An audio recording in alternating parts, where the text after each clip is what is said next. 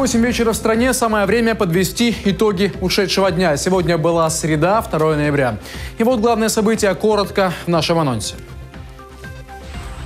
Стрельба в центре Одессы. Там пытались задержать подозреваемых в разбойном нападении. Бабахнула машина у нас и все.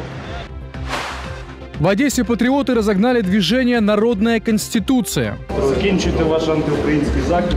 У вас сьогодні конференції не буде. И на Пешоновской 14 рухнул потолок. Хозяин квартиры чудом остался жив. Я отошел до дверей, и оно обвалилось прямо туда на кресло, там, где я сидел. А теперь об этом и многом другом подробно и по порядку. В Одессе полиция со стрельбой пыталась задержать подозреваемых в разбойном нападении. Те сбежали и устроили ДТП с инкассаторами. Все подробности далее в сюжете. На Польской множество правоохранителей и две столкнувшиеся машины. Ситроен и инкассаторский автобус. На легковушке следы от пуль. Прохожие выдвигают первую версию. Попытка ограбления работников банка. Водитель инкассаторского буса говорит, здесь никакой стрельбы не было, как и нападения на них. Бабахнула машина у нас и все. Мне бы чуть-чуть, я бы уже сюда свернул. Или бы справа. А так, не знаю, кто из него стрелял. Когда они шарахнули и убежали.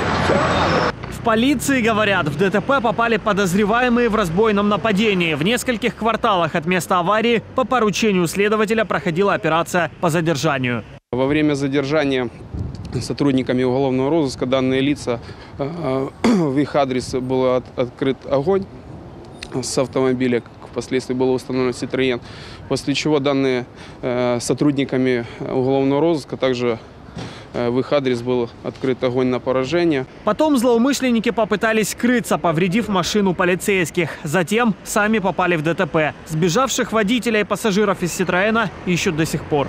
Также следственным управлением наш- нашим начато уголовное производство по статье 345 Уголовного кодекса Украины, то есть угроза, э, угроза жизни либо насилию в отношении сотрудника правоохранительного органа.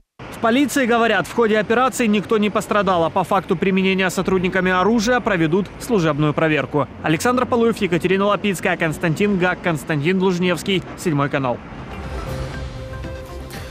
Тем временем в Одессе сорвали встречу движения «Народная Конституция». Сегодня патриотические организации не дали провести конференцию в гостинице «Черное море». По их словам, такое мероприятие запланировано с целью дестабилизации ситуации в нашем городе. Что это за новое движение и зачем его проводили в Одессе, знают мои коллеги. Закінчуйте ваш антиукраїнський захід. У вас сьогодні конференції не буде.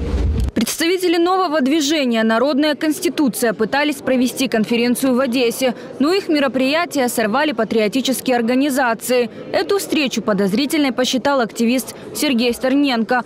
Говорит, собрание организовано для дестабилизации ситуации в городе. Мала відбутись конференція, присвячена обговоренню якоїсь нової конституції. От, за нашою інформацією, даний захід е, є одним з елементів гібридної війни проти України на сьогоднішній день і спрямований на дестабілізацію ситуації в українському суспільстві. Тому сюди прибули патріотичні організації, які завадили проведенню даного дійства. Организаторы мероприятия уверяют, якобы собрались обговаривать механизмы принятия Конституции. Подробностей мало. Известно, что участники движения предлагают заменить действующий основной закон государства на новый общественный договор. Эта конституция не отвечает больше тем кризисам и тем проблемам в обществе, которые сейчас перед нами стоят. И назрела необходимость нового общественного договора, на базе которого будет новая конституция с вовлечением максимально людей в процесс обговорения этих принципов и ценностей и, принят, и принятая на референдуме.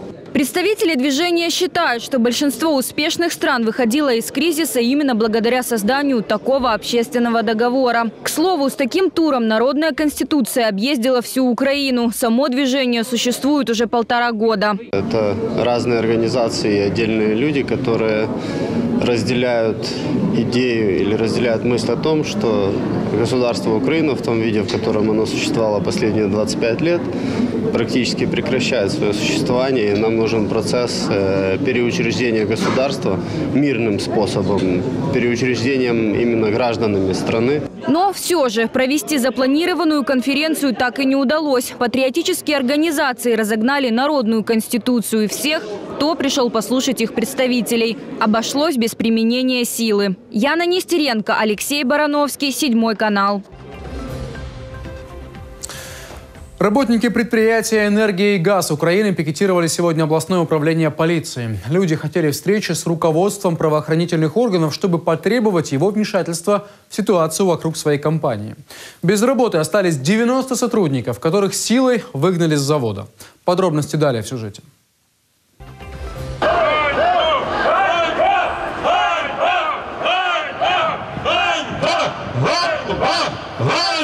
Почти сотня сотрудников предприятия «Энергия и газ Украины» требуют встречи с руководством областного управления нацполиции. Мы сегодня пришли к руководству УВД области э, для того, чтобы э, спросить, почему сегодня 90 семей города Одессы выброшены на улицу, почему у нас сегодня у всех забрали работу, почему на наши обращения, которые мы пишем уже на протяжении полугода, что идет рейдерский захват, идет незаконное отжатие э, работающего предприятия энергетического комплекса, и почему на это нету никакой реакции. По словам представителей предприятия энергетического сектора, рейдеры в лице Укртранснефтепродукта и нанятых ими охранников не пускают на территорию. Это чревато проблемами с оборудованием и несет угрозы техногенного характера. Ведь рядом на территории НПЗ тысячи тонн нефтепродуктов. Действующая электростанция, которая э, находится под напряжением, уже месяц просто находится на произвол. То есть в любой момент может произойти э, короткое замыкание, может произойти пожар, и это может привести к техногенной катастрофе. На сегодняшний день ни одного специалиста нашего предприятия на предприятие не допускают. Сергей – начальник смены предприятия «Энергия и газ Украины». Говорит, он с коллегами занимался эксплуатацией дизельных установок и печи, которые находятся на территории. Мы же оборудование не, не консервировали, мы его не останавливали на длительный простой. Мы были внезапно просто выкинуты. Оборудование осталось под напряжением, оборудование осталось с водой. То есть мороз, трубы замерзают, короткое замыкание может произойти все, что угодно. Вот и все, и люди туда не имеют возможности попасть, не то что работать, они даже не имеют права зайти свои вещи забрать. Руководство предприятия утверждает, люди, которые выгнали их с территории, незаконно начали эксплуатировать оборудование, в частности котельную. В дирекции Одесского НПЗ, на чьей территории находится энергия газ Украины, считают, предприятие стало невольным участником борьбы за активы нефтеперерабатывающего завода. В частности, за нефтепродукты, которые находятся под арестом, как вещественные доказательства. Изначально речь шла о 67 тысячах тонн. Сколько сейчас, неизвестно. На территорию для проведения инвентаризации никого не пускают допускают. До этого все вещественные доказательства по делу Курченко путем незаконной реализации уничтожались государственным предприятием «Укртранснефтепродукт». Теперь после того, как мы прекратили, э, вернее запретили им вывозить до, э, до момента их полностью, пока они не восстановят полностью все требования законодательства, они просто решили их сжечь. То есть каким образом? Они захватили котельную, они захватили это, удалили с территории это предприятие. И на сегодняшний момент котельная отапливается именно вещественными доказательствами по делу Курченко. Митингующие провели под областным управлением около двух часов, однако встретиться с руководителем одесской полиции не смогли. Начальство на месте не оказалось. Участники митинга пообещали, что это была предупредительная акция, поскольку недовольны подозрительным бездействием полиции в своей проблеме. Александр Полуев, Алексей Филиппов, Седьмой канал. Одесский центр обслуживания граждан временно прекращает свою работу. Об этом сегодня на экстренной пресс-конференции заявили руководитель центра Артур Амиров и глава Одесской облгосадминистрации Михаил Саакашвили. Причина вступления в силу закона 5067. Он лишает подобные учреждения права предоставления услуги, приносящей прибыль предприятию. Браки, экспресс-браки. Сегодня, пожалуйста, сколько свадеб мы сегодня будем аннулировать. Почему? Потому что мы не можем взимать за них за это плату, потому что это запрещено. Фактически мы теперь не можем ничего делать. Все то, за счет чего существовал центр с момента возобновления своей деятельности 10 мая, мы не можем. Ну, руководство Центра уже обратилось к депутатам Верховной Рады и президенту Украины с просьбой пересмотреть закон. Не лишать полсотни сотрудников Центра достойных зарплат от 5 до 8 тысяч гривен, а жителей Одесской области – возможности пользоваться услугами организации.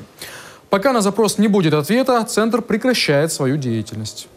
Будем просто выдавать документы, потому что ну, люди, мы обязаны выдать документы, те, которые люди подали документы, а принимать новые мы не будем в состоянии. Почему? Потому что, ну, потому что мы не сможем. Центр был открыт при поддержке западной организации USAID, вложившей в оборудование 300 тысяч долларов. Эта же структура финансировала и рекламную кампанию, которая должна была стартовать уже завтра. Но вот тоже будет приостановлено. В областном бюджете есть 6 миллионов гривен, заложенных на потребности центра, но этой суммы, по словам руководителей, хватит максимум на полгода.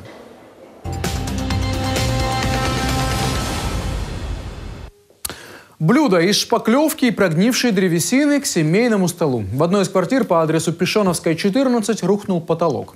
Обвал произошел вечером, как раз когда семья собиралась за ужином. Жильцы чудом уцелели. Вместе с пострадавшими обломки разгребала и наш корреспондент Ирина Рогозянская. Сидел на кресле, кушали. Я встал в туалет. Только встал, отошел вот сюда, вот э, Та, Таня была это, начала трещать что-то. Я отошел до дверей, и оно обвалилось прямо туда на кресло, там, где я сидел.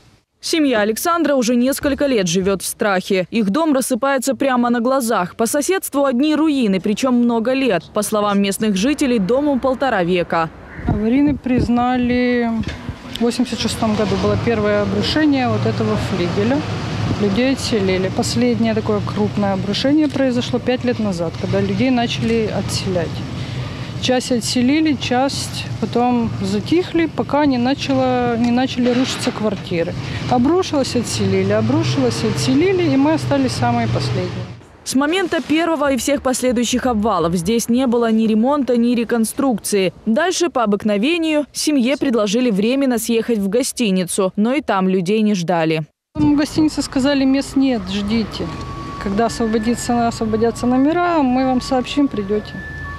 Притом без, жили, без э, вещей, зверей, готовить нельзя. Приходите, ночуйте и уходите.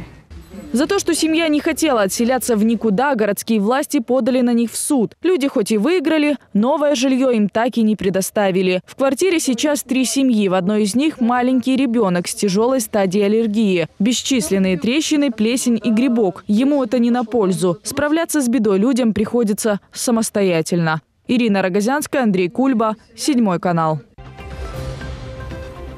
Ровно неделя прошла с момента страшного ДТП на Большой Арнаутской, в котором погибли два человека. Еще четверо до сих пор находятся в больнице, и среди них Ирина Горбатюк. Она идет на поправку, она как раз и была на остановке, когда туда влетел внедорожник БМВ. На днях ее переведут из реанимации в травматологию. Об этом нам сообщил супруг пострадавший. Шоковое состояние вышло, конечно, еще реабилитация очень много. Если люди будут дальше помогать, я не против. То же самое огромное спасибо. Что врачи говорят? Врачи говорят, что даст Бог, она сильная, выцарапкается. Как сказал следователь, говорит, будет жить хорошо, потому что, говорит, три раза уже хоронили за этот промежуток. Со слов мужчины, огромный вклад в спасение его жены вложили небезразличные одесситы, оказавшие помощь буквально незнакомым людям. Правда, впереди еще продолжительный процесс лечения, нужны деньги и кровь. Кровь нужна любая, не только там первая, вторая, третья. Четвертая, как я узнавал, четвертой много сдали. Первая, вторая, третья, пускай, если кто имеет желание, пускай сдает. Я напомню, 26 октября белый BMW X5 на большой скорости пытался проехать перекресток Большой Арнаутской и Преображенской на красный сигнал светофора. Иномарка ударила москвич, его откинуло к дереву и тротуару. Водитель и пассажиры легковушки от полученных травм погибли на месте. БМВ отбросила еще и на остановку, где в тот момент находились люди. Водители и пассажиры иномарки сбежали с места происшествия, сейчас их ищут.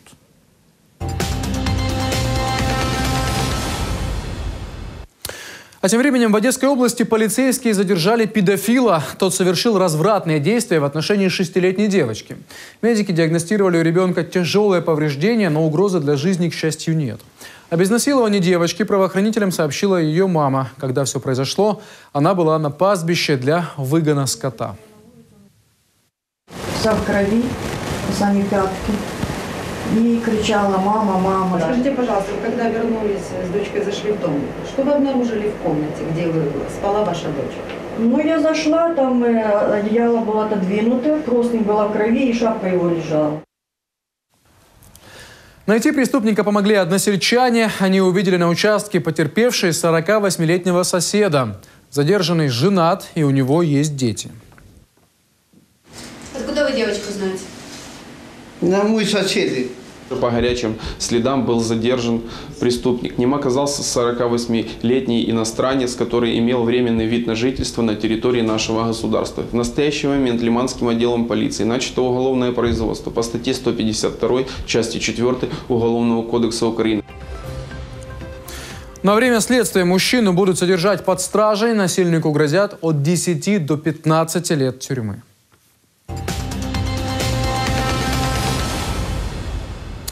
И стали известны подробности поджога квартиры в Суворовском районе. Там спасатели нашли тело пенсионерки с колото-резанными ранами шеи и открытой черепно-мозговой травмой. В убийстве признался 17-летний внук женщины вместе с другом-ровесником. Полицейские задержали их в тот же день. Как оказалось, подросток решил ограбить свой же собственный дом с товарищем-уголовником. За работу пообещался участнику тысячу долларов. Когда мы посидели, пообщались, он уже все рассказал. Надо зайти в комнату,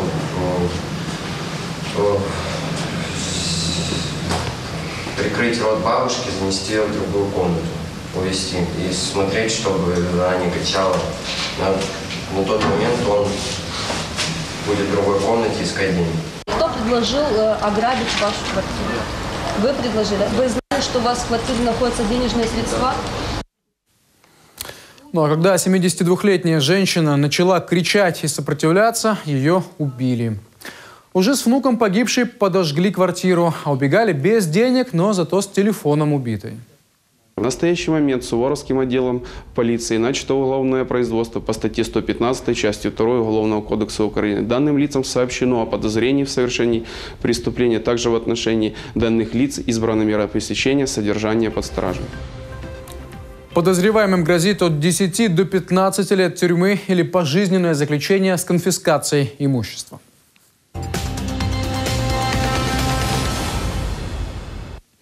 У парка «Юность» активно готовят склоны к прокладке подъезда к долгострою «Морская симфония». Об этом говорят местные жители. Хотя по всем документам дорога к жилому комплексу должна проходить совсем по-другому. Чем может обернуться такая стройка, расскажет Анастасия Кожушка. Новый застройщик морской симфонии подрезает склоны и укрепляет территорию строительным мусором. В дальнейшем, по словам местных жителей, на этом месте должна появиться незаконная дорога, которая к тому же пройдет через парк «Юность». Изначально, согласно генплану, дорога к жилому комплексу должна была проходить совсем по-другому. Но, по словам местных жителей, для застройщика этот вариант очень затратный. Поэтому он ищет более выгодные пути решения этой проблемы. Она должна приходить э, в конец э, улицы Литературной, точнее, начало улицы Литературной. И по средней террасе склона должна идти дорога, которая примыкает к этой петле и спускается вниз в паркинг э, ЖК «Морская симфония» все, берега, все укрепительные работы по склону, все дренажные системы, все должно быть просчитано. Мы понимаем, что это какая-то затрата для застройщика, но генплан есть генплан. Местные жители не хотят лишаться парка и активно выступают против строительства этой дороги. Они уже выходили на акции протеста и даже собирали подписи. Но, по словам людей, застройщик не принимает этого внимания. Продолжает срезать склоны, чтобы расширить подъезд к паркингу ЖК. А недавно еще и расправились с ливневыми водоотводами. Вот наша подстанция находится, которая сейчас вымывается из-за того, что нарушены все дренажные лотки поверхностного сбора. Вот. И это мы можем только представить, чем может закончиться. Кроме того, строительство дороги на склоне нарушает все нормы безопасности. Без должного укрепления он просто сползет в море. Вот нижняя часть склона а, опять же, неоднородная, уже появились такие оплывины, а, полтневые порожки. То есть это все говорит о том, что склон а, живой. И если мы посмотрим вот срез этого склона выше, мы увидим, что он насыпался из строительного мусора, ну, в то время, что было, то и подсыпали. Поэтому, э, ну, здесь э, оголив его, оголив вот от этого дерна, оголив от защитных верхних слоев, ну, да, это начало эрозии. Напомню, жилой комплекс «Морская симфония» строится уже около 10 лет. За это время здесь сменился не один застройщик. Обманутые инвесторы не раз выходили на митинги с требованиями, чтобы их дом наконец достроили, а люди получили долгожданные квартиры. Анастасия Кожушка, Алексей Барановский, Игорь Казанжи, Седьмой канал. Скоро в Одессу доставят вакцину от гриппа. Об этом рассказала Людмила Красницкая, областной эпидемиолог. Медикаменты в Украину привезли из Франции, однако они еще не прошли сертификацию. А использовать препарат можно будет только после нее. Я напомню, что вакцина от гриппа должна была поступить в одесские больницы еще в начале октября. Вакцина есть на складе в Киеве, вакцина есть в Украине, но использовать ее, да пока не придет этот выставок, вот до вот сейчас его нет. И теперь они только обещают где-то на 10-12 число. Мы ждем, уже у нас эпидсезон в декабре. Подробнее о вакцине и о том, когда она все-таки появится в Одессе, смотрите в субботу в программе «Итоги недели» с Еленой Крылатовой.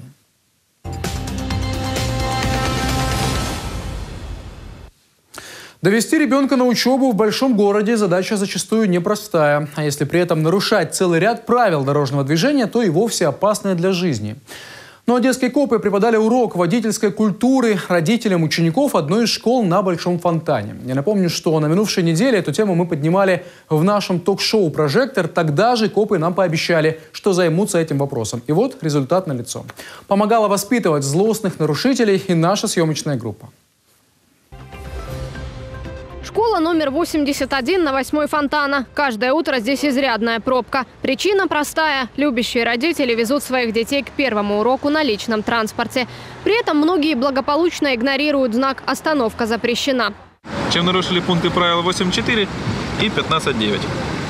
Будьте любезны, ваши документы. Напротив школы родители высаживают детей и ведут в школу прямо на проезжей части. Нарушают все поголовно. И родители, и таксисты. Работы копом хватает.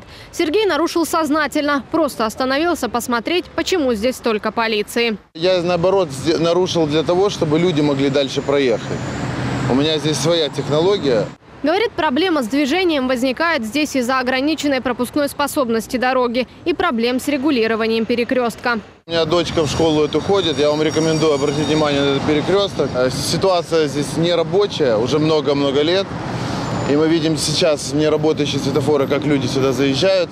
Мужчина уверен, полиция ничего не добьется. Как нарушали, так и дальше продолжит. Мол, замкнутый круг. А купы тем временем продолжили работу. Несколько десятков водителей получили предупреждение. Кому-то выписали постановление. Обещают, эта акция устрашения не разовая. По другим э, школам тоже подобные рейды будут э, проходить. Единственное, что то есть, просьба директоров школ, если есть такая проблемная, проблемный такой вопрос, обращаться в Главное управление национальной полиции. А тем временем утренняя пробка по фонтану меньше не стала. Как нарушали, так и продолжили. Анна Грынев, Сергей Бандур, Евгений Руденко. Седьмой канал. Ну уж коль начали полицейские следить за ситуацией на этой дороге, будем надеяться, что и продолжат, и ситуацию хоть как-нибудь изменит. Мы продолжаем выпуск. На Аллее Славы подвели итоги несения почетной вахты памяти за последний год. Почти полтысячи школьников пришли на торжественную линейку. Все они ученики поста номер один. Место, где детей учат любить свою страну. Подробности об этом расскажет Марьям Эль-Хасан Али. Полтысячи одесских школьников пришли на Аллею Славы. Даниил учится в 10 классе. Вахту несет уже второй год. Говорит, этот процесс не из простых. Все очень сильно стараются, что маршировать это не так уж и легко. Потом ты понимаешь, что на тебе идет большая ответственность. Ты пытаешься сделать все лучше и, ну, как бы не испортить всем и все. В 2016-м таких, как Даниил, было больше тысячи. Ученики 30 школ города участвовали в главных торжествах. День военно-морских сил, 72-я годовщина освобождения Украины от нацистских оккупантов и не только.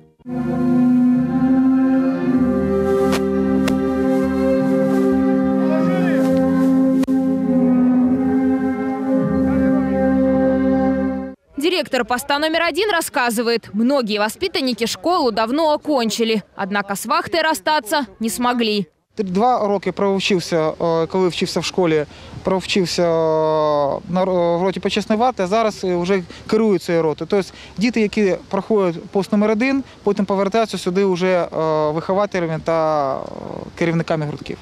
Директор говорит, за последний год его ученики сплотились еще больше. В 2016-м поняли, хорошо нести вахту получится только в дружном коллективе.